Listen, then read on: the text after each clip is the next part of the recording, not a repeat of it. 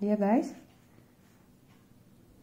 last class we have seen about photoconductivity and I told you that the photoconductivity is a phenomenon for most of the optoelectronic devices. One such device is the photodiode. Now I can also name this photodiode as a photodetectors meaning it says that photodetector photodiodes can act as a photodetector also. So when this question is raised in any 8 mark question or something else, when you learn photodiode, you can also write it for photodetectors. So listen to the class. Now, it's a, see the name photodiode. So it's also a type of diode, but it's a special type. Let me write here. It's a special type of PN junction diode. Now, what is there special in it? Look at here. Now, we, we used to represent PN junction diode as P region and N region. So a junction is being achieved between P and N region. Now upon the junction you are going to allow the light to strike on the junction and that's why it's something special right. Now this same thing can be represented via schematic uh, symbol. How to represent normal diode is represented in this way. So we have anode as well as cathode plus and minus. Now as ample of ample of light is allowed to strike at the junction, the arrow should be towards the device. Now I can say that in short I can say that this photodiode it converts light into current which is nothing but the phenomena of photoconductivity. Now, even the solar cell is also branded as a photodetector. Now, the very important point is this type of photodiodes are designed to work under reverse bias. They are designed to operate under reverse bias. Normally, normal normal PN junction diodes will not work in the reverse bias condition. Now in the same case with photo photodiodes as well as the photodetectors, the one thing is what we are going to allow the light to strike the junction. That is the additional thing. Now let's move on to the construction. It's a simple thing. So now let's get back to our favorite diagram. P-type semiconductor and N-type semiconductor. We have achieved a junction now as I told you it works only under the reverse bias. We have to give the connection in the reverse bias condition. So this is the way to connect. Now look at here P region is connected to negative terminal of the battery and N region is connected to the positive terminal of the battery that is the reverse bias connection. P region P to negative terminal of the battery and N region to the positive terminal of the battery. That is the way to connect. Now once again we will represent the dominant charge carriers. We'll, we are writing only the dominant charge carriers. Likewise here also the dominant charge carriers. Your, your junction is designed in such a way you will have a transparent window where it allows the light to strike into it. Okay. Now as far as the construction P region is connected to negative terminal and N region is connected to positive terminal. So as soon as we achieve the reverse bias, we all know that the unlike charges will be attracted each will attract each other. Unlike charges attract each other. As a result, what happens? The, the holes will be attracted towards the negative terminal and electrons will be attracted towards the positive terminal of the battery so the next diagram I'll uh, I can I can say that now the as there is no movement of electrons on holes the depletion layer increases the width of the depletion layer increases. Whenever there is width of the depletion layer increases what happens? There will be no flow of current no flow of current. No flow of current at this stage. Theoretically there should be no flow of current because it is a reverse bias. But practically if you take there will be feeble current flowing through the diode. Very very little amount of current very feeble current will flow th- through the diode. That's because of what? That is because of increase in the temperature. So i'll say that this is called as thermionic emission thermionic emission meaning is what? There will be flow of current because of thermal agitation because of increase in the temperature.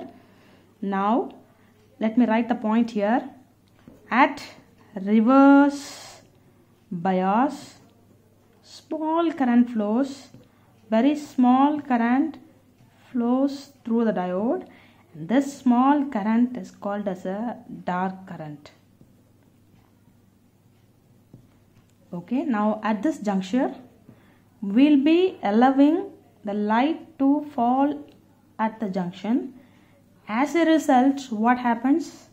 Electrons and holes will absorb the energy and they'll move to the excited state. As we can explain through the energy level diagram what is the principle of photoconductivity? Again back to the favorite diagram was what? Valence band and the conduction band now when the atoms are allowed to strike the photons of maximum energy E is equal to h nu. What happens? Covalent bonds will be broken. Covalent bonds bonds get broken. Then what happens? All the atoms electrons will be liberated and they they occupy the higher energy level which is the conduction band now what happens? All the electrons move to the conduction band. Whenever number of electrons in the conduction band increases automatically current also increases. Current increases. Now this flow of current. This current is named as reverse current which is given by the term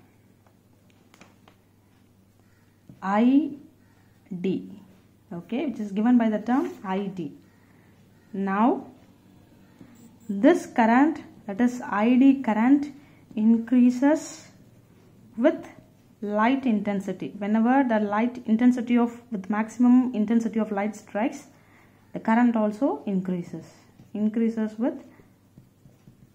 the light intensity. Now we'll plot the graph and for the uh, forward bias you can plot it in this way but for the reverse bias to show that to ensure that it is a reverse bias condition we are drawing the graph in the negative y direction.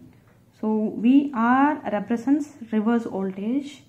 And here we have a current. This is reverse bias.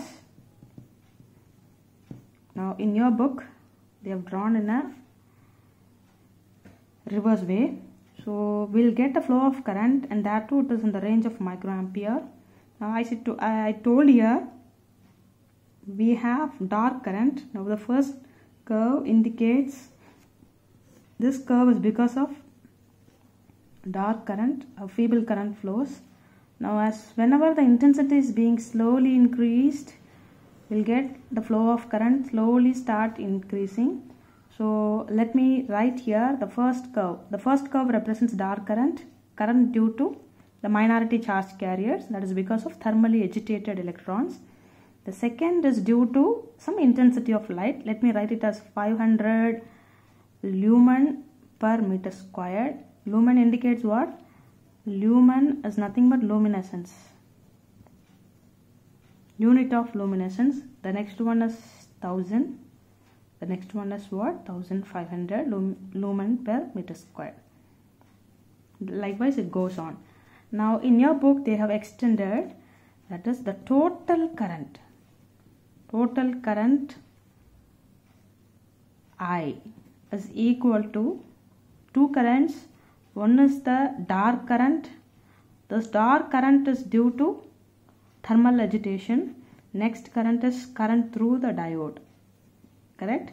Current through the diode both are represented by the term is plus id now we have we have a relationship, uh, relationship. Anything can be represented in terms of mathematics. Likewise we have a diode equation that is an ideal diode equation that can be written in this way. Id is equal to i naught into 1 minus uh, vd divided by nkt there is a small mistake in your book so please make it correct. This is not vc it is vd and this is not eta it is nkt now what is this id this is the current through the diode. And what is I naught? It is the saturation current saturation current then 1 minus E into VD what is VD VD is the diode voltage. And what is N? N is the coefficient. Some let's have like a it's a correction factor.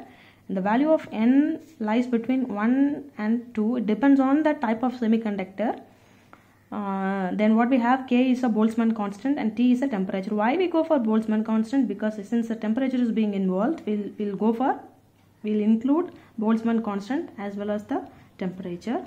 Now as this is the equation for uh, diode, the current through the diode, then the total current can be obtained by the equation I is equal to the current due to uh, minority charge carriers, that is the dark current plus I naught into 1 minus e to the power Vd divided by nkt. So this is equation 1, this is 2. Now substituting 2 in 1 we get the total current in the device. So the main application is what? it is photodiode is used to control the resistance how the resistance is being controlled? By varying the current. The current can be varied by using light. Then since the current is varied it can act as a switch. And we can operate the switches on a faster way. Say faster. Meaning of faster in a nanosecond you can operate. And it can also function as a photo detectors. So when this question is raised you can also uh, uh, when the photo detectors is being asked you can also write about the photodiode